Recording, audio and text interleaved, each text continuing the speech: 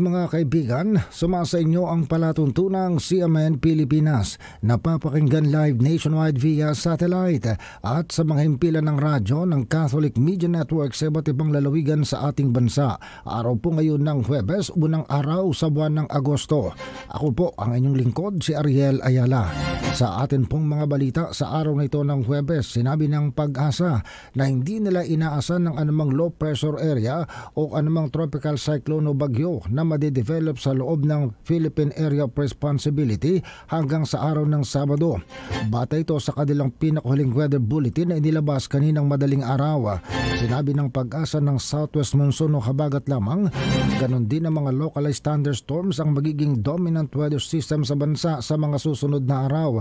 Dahil dito ang Metro Manila, Ilocos Region, Cordillera Administrative Region, Zambales at Bataan ay makararanas ng isolated rain showers o thunderstorms dahil sa mahinang kabagat sabi pa ng pag-asa.